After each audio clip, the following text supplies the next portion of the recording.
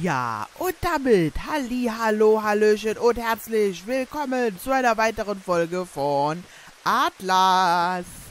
Ja, in der letzten Folge hatten wir ja so ein bisschen, oder in den letzten Folgen, hatten wir uns auch so ein bisschen geärgert wegen dem Nachbarn, dass er da den Weg versperrt hat, dass wir jetzt so einen langen Weg machen müssen und ja, sowas nervt mich einfach. Das kennt ihr ja von mir, das wisst ihr. So, und dann haben wir festgestellt, dass unsere Crew verschwunden ist, weil sie, ja, wahrscheinlich äh, hier Altersschwäche und so gestorben sind. Weil, wie gesagt, Essen können sie eigentlich nicht verstorben sein, weil, ja, die hatten ja eigentlich immer genug. Also, ich gucke ja schon, dass ich mich um meine Tierchen kümmere und so, ne? Und um meine Crewmitglieder.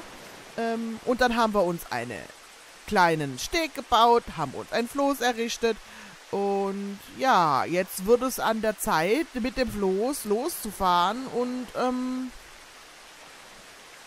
uns dahin zu bewegen,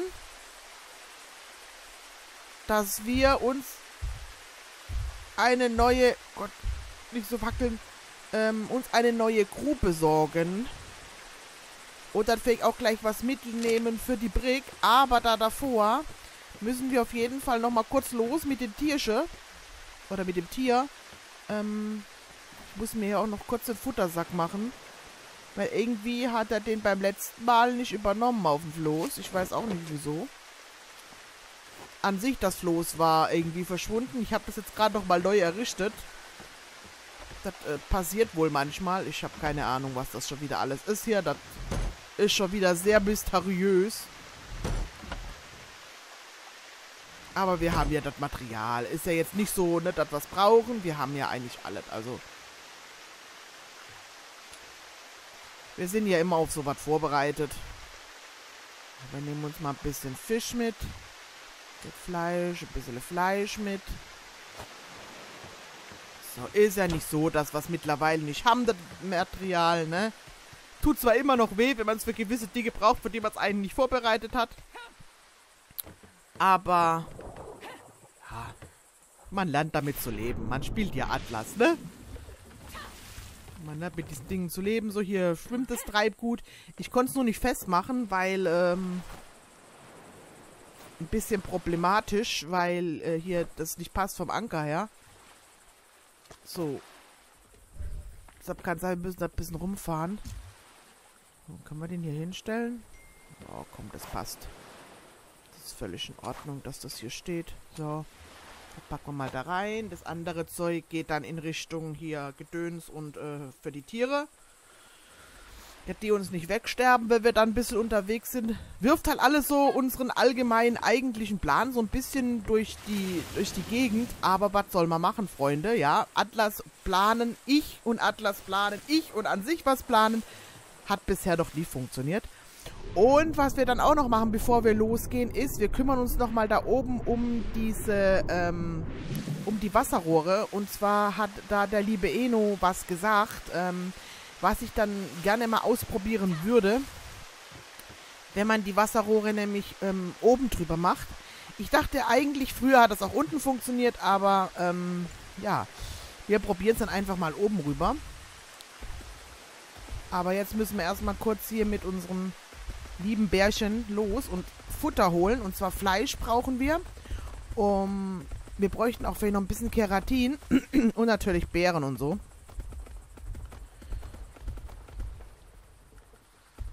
So. Springen wir hier ins Wasser und schaut mal, das sind sogar zwei Schätze noch. Ach, wie lange waren wir nicht mehr auf Schatzsuche, ne? Oh, das wird auch so wieder, das wird auch wieder so eine Sache, ne? Wir müssen unbedingt wieder auf Schatzsuche gehen, Freunde. Mir fehlt das einfach so sehr. Aber ihr seht ja, wir kommen einfach nicht dazu. Wir kommen einfach nicht dazu. Es gibt so viel zu tun, es gibt immer was zu tun. Dann hast du, denkst du so jetzt und dann kommt wieder was Neues dazu.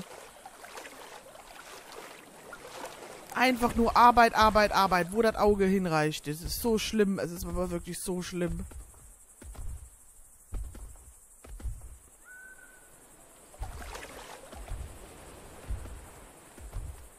Wir können jetzt hier gleich bitte hier krähen.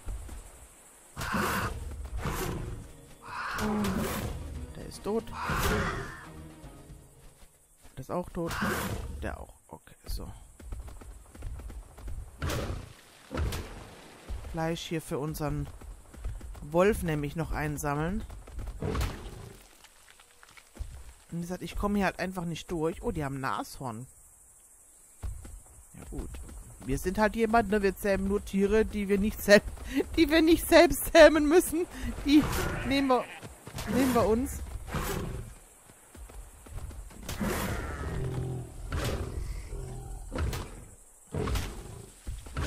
Das ist mal die Frage. Komme ich hier vielleicht mit den Bären wenigstens durch? Weil Bruno, äh, Bruno ist, heißt ja nicht Bruno hier.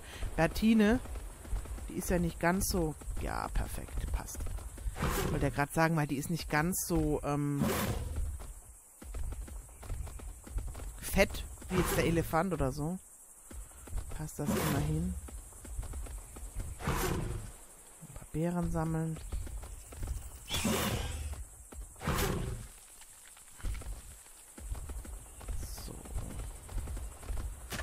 gar nicht so viel.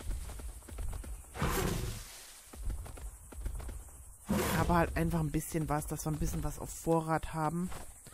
Für die Tiersche.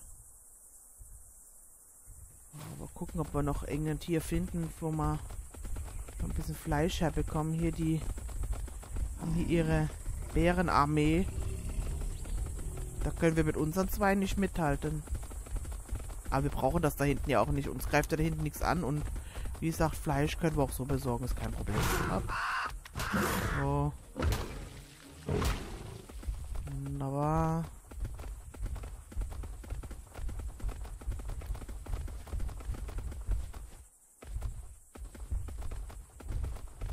Kriegen wir den Elefanten hier? Was ist das für ein Level? Kriegen wir den getötet? Ich denke schon, komm.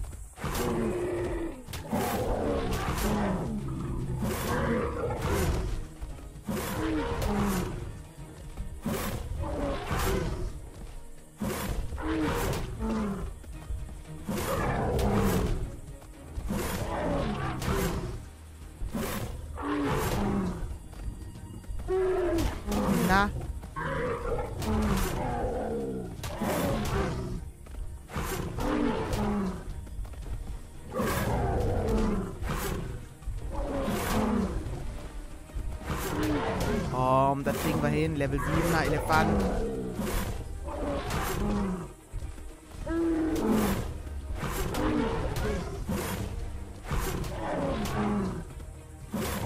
Mir aber leid, sowas, aber in der Wildnis ist das nun mal so. Ne? Da ist halt fressen und gefressen werden. Da wir nun mal ein paar Fleischfresser haben oder auch selbst ein bisschen Fleischfresser sind, müssen wir hier nun mal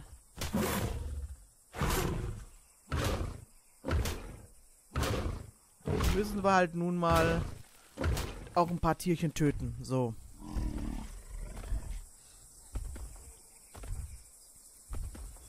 Völlig in Ordnung. Muss man kein schlechtes Gewissen haben. So ein bisschen hat man es trotzdem. Also ich habe das immer so ein bisschen.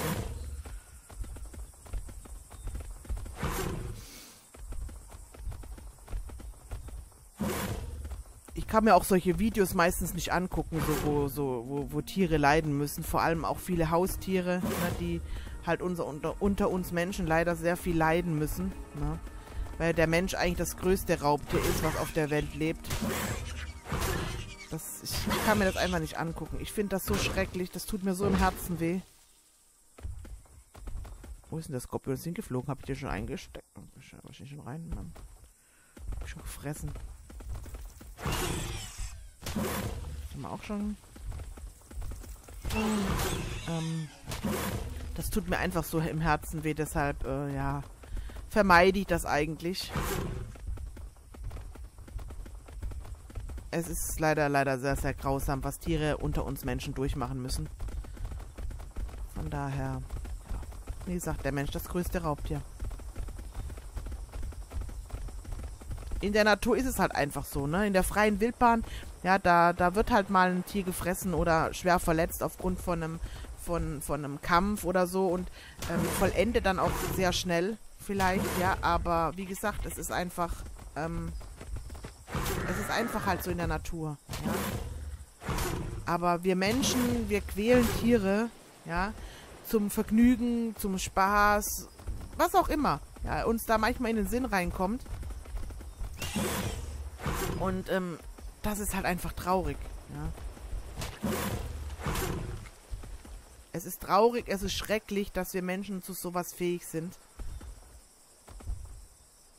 Unsere Tiere so zu quälen. Das ja, ist einfach sehr, sehr grausam. So, wir sind relativ full full. Das bedeutet, wir hupseln mal hier runter. Oh, ab. Oder ist ein Pferd? Hat sich hat sich befreit oder ist es ein neues? Hier hing ja auch eins. Ich muss ein bisschen drauf gucken, nicht, dass mein Floß davon schwimmt. Das wäre nicht so prickelnd. Oh, da ist ein Elefant runtergefallen. Guck mal. Da ist ein Elefant vom Himmel gefallen.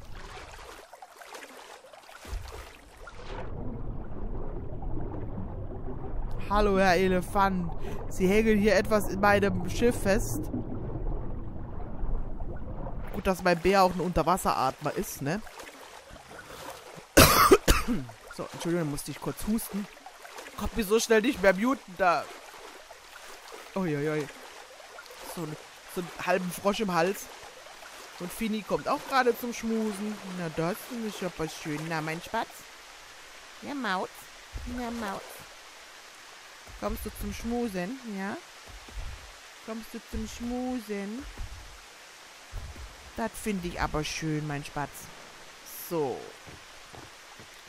Ach, die Bertha. Mit der Bertha sind wir unterwegs. So, ähm, dann schnappen wir uns mal ein bisschen Fleisch. Statt hier. Machen uns mal relativ full. bisschen Beeren so, ein bisschen davon.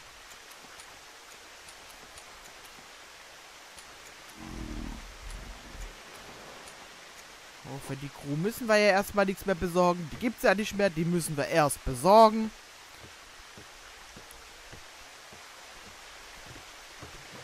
Aber ist kein Problem. Ach, hallo, Herr Rabe. Oh, guck mal, wir haben noch ein bisschen was drin, aber ist nicht mehr viel, wie ihr sehen könnt. Das hole ich mal raus, alles schnell. So, jetzt packen wir das nämlich alles frisch rein. Also ihr seht, ich bin eigentlich wirklich immer sehr, sehr bemüht, ja, dass meine Tiere und hier alle nicht sterben an Hunger. Ist bisher auch noch nicht passiert, aber unsere Crew ist einfach mal an Altersschwäche draufgegangen. Ja. Weil es ist halt auch immer so, immer wenn ich den, den Napf fülle für die Tiere, fülle ich natürlich auch den Napf für die Crew, also den, ne, den Schrank. Napf, das hört sich so. Das, das hört sich einfach so falsch an, ne? Ich fülle mal den Napf für meine. Für meine Crew, ne? Die brauchen ja schließlich auch was zu essen, ne? Nee. Nee, die haben einen, einen Essensschrank, wo sie drauf zugreifen können. Das klingt dann doch ein bisschen. ein bisschen freundlicher. So. So, der Napf ist soweit full. Das reicht auf jeden Fall. Ein bisschen hoch vor hier. So, dann schnappe ich mir die Kacke. So, dann schnappen wir uns das hier alles erstmal. Mm, das kommt dann alles schön hier rein. Fasern, das, das, das, das, das, das, das, das kommt da rein. Das kommt da rein. Dann holen wir uns kurz ein bisschen Stroh raus. Machen hier noch den Dünger. So. Alles klar. Sehr schön. So, ähm, jetzt wollte ich gucken. Strukturen, Rohre, Stein. Wie viel können wir machen? 21. Wir machen mal nicht so viele. Wir machen mal plus 8. Wir machen mal plus 8 und dann machen wir das noch eben, stellen wir das noch kurz her. Also, ne? Und dann gehen wir kurz hoch, gucken, ob das funktioniert, so wie ich mir das überlegt habe.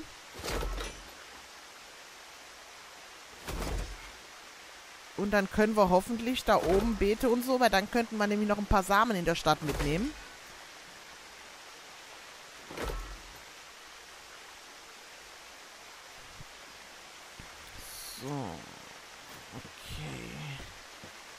Jetzt hatte ich hier irgendwo noch... Da hatte ich noch Beete. Nehmen wir mal kurz mit nach oben. Können wir mal ein Schlückchen trinken. Oh, perfekt. Das funktioniert ja Gott sei Dank ohne Probleme. Und da müsste das andere jetzt auch funktionieren, ja. Ich hoffe es. Ich hoffe es, dass das funktioniert. Wie gesagt, ich war eigentlich davon überzeugt, ähm, dass das auch von unten her funktioniert, weil ich hatte das mal so gebaut. Aber, ja, es scheint nicht immer alles zu funktionieren, was früher funktioniert hat. Also gewisse Dinge sind wohl geändert worden oder ne, immer wieder mal ähm, anders da. Deshalb müssen wir jetzt mal schauen.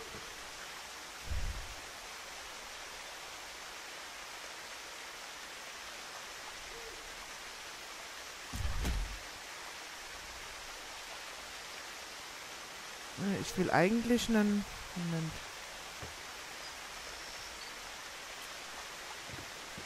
Ich wollte eigentlich irgendwie das... Ähm, Moment. Boah, jetzt muss ich... Ja, genau, so. Ich wollte das...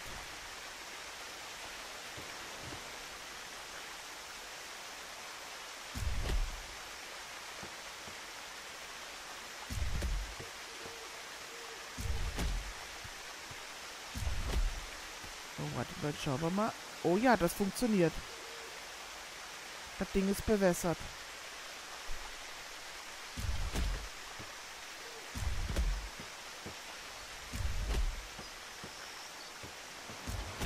Das ist ja super. Okay, dann können wir noch ein paar Rohre mehr herstellen. Dann machen wir das bisschen, dass es auch gut aussieht.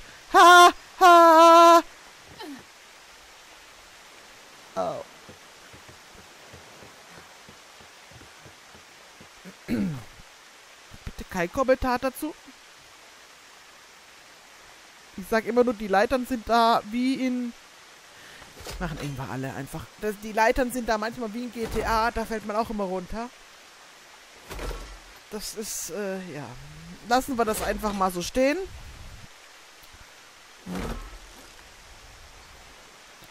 Lassen wir das einfach mal so stehen.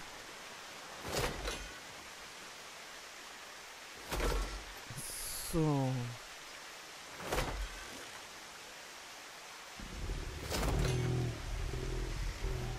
Ähm. Ich überlege gerade, ob wir noch ein paar Beete herstellen. Aber eigentlich müssten die jetzt erstmal... Wir machen erstmal die hin. Die Beete, was wir jetzt haben. Und dann noch einen, muss da oben noch ein Schrank auf jeden Fall hin. Aber es hat funktio es funktioniert anscheinend. Also muss man das anscheinend doch ähm, oben haben, die Rohre. Äh,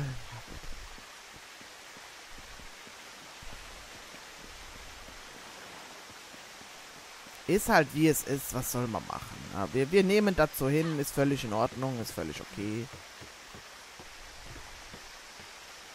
Frage, könnten wir das miteinander verbinden oder nicht?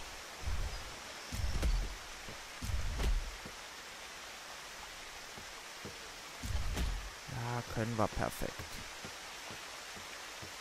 Ja, das hier auch.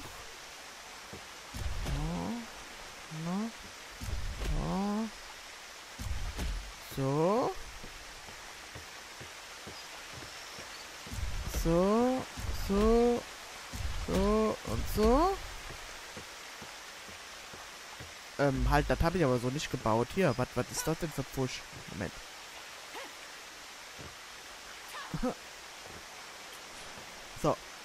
Das hatte ich so nicht gebaut. So. Jetzt, also, jetzt schauen wir mal kurz. Ob das hier auch weiter so funktioniert. Sekunde. Ähm. Ha.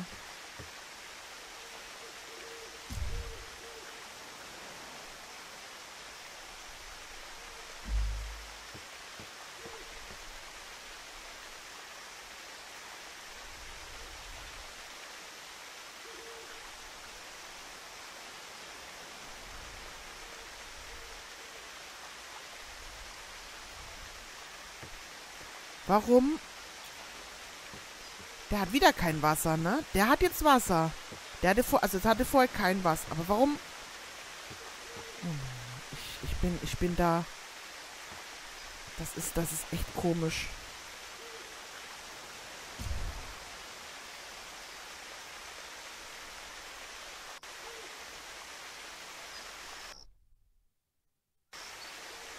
Ich habe gerade kurz einen Leck.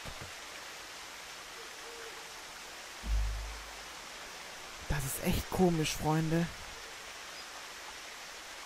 Ich verstehe es nicht. Warte mal, wir machen mal...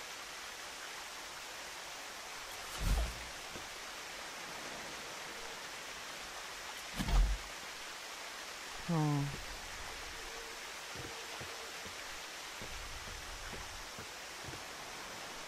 Wir können ja eigentlich diese Wasserrohre unten mal abreißen. Nur noch ein bisschen Materialien raus.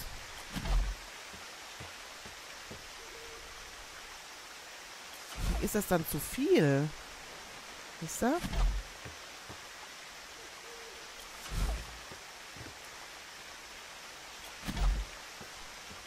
Dann müssen wir da noch Wasserhähnchen dran machen, dass das funktioniert.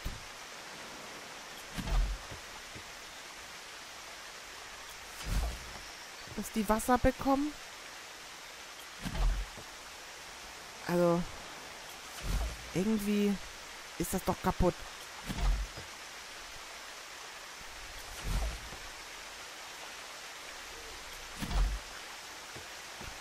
Muss ich kurz gucken hier.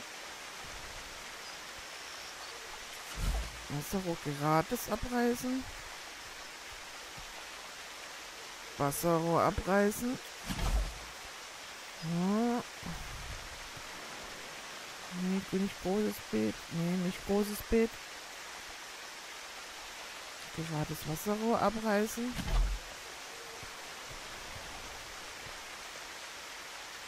Wasserrohr.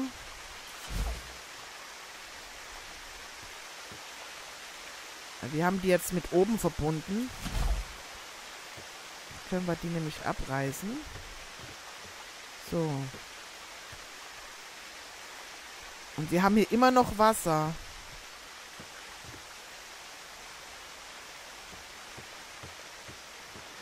Vielleicht muss ich einfach hier nochmal eine, eine,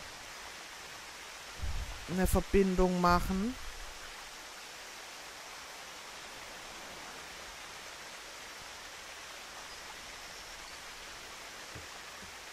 Dass das funktioniert. Wir machen das mal so. Kurz dann stellen wir mal das hier schnell hin. So.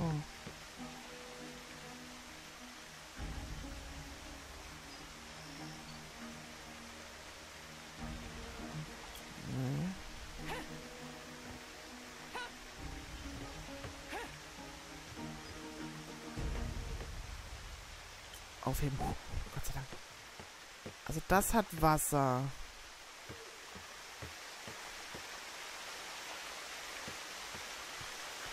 Das hat auch Wasser. Jetzt machen wir mal folgendes. Wir machen das mal hier hin.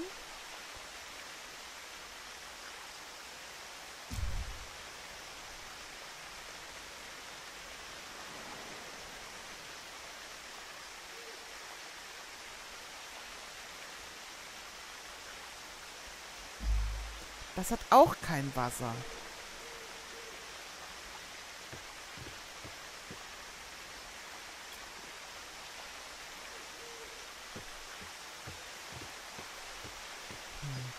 Muss man da einen...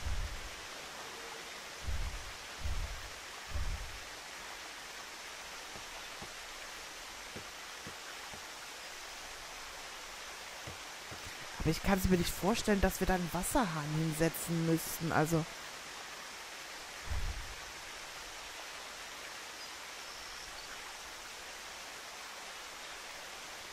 Ich kann mir das nicht vorstellen, Leute. Das ist... Das liegt außerhalb meiner Vorstellungskraft. Weil, ganz ehrlich, die dürften ja auch kein Wasser haben, wenn es nicht funktionieren würde. Also, was mache ich falsch?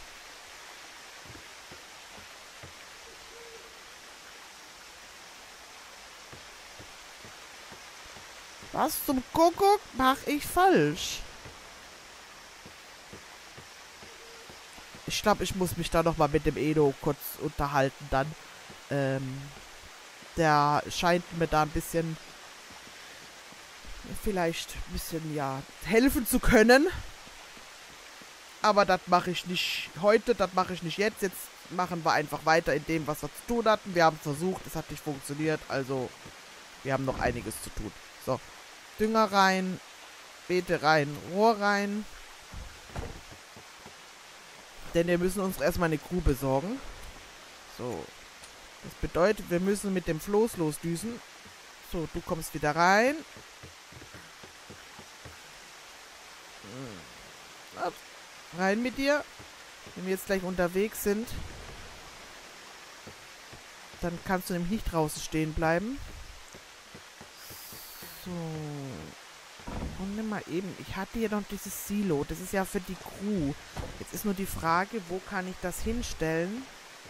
Ähm, kann Crew-Silo nicht platzieren muss. Musst.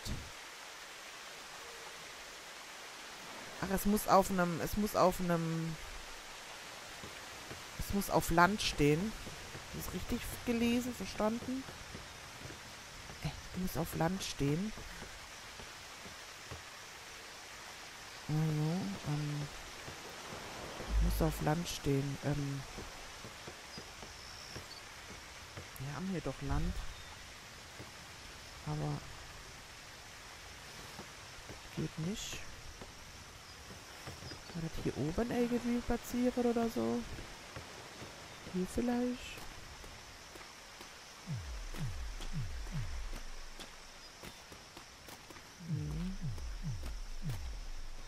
Das ist doch Land. Hier ist doch Land. Muss auf Island platziert werden. Hm? Ah, wisst ihr was? Wir machen dann einfach so ein paar Schränke hin. Da müssten die ja eigentlich auch drauf zugreifen. So, wir schließen das Tor hier mal. Packen das mal wieder unten rein. Und dann düsen wir los mit dem Floß. In Richtung nächster Stadt.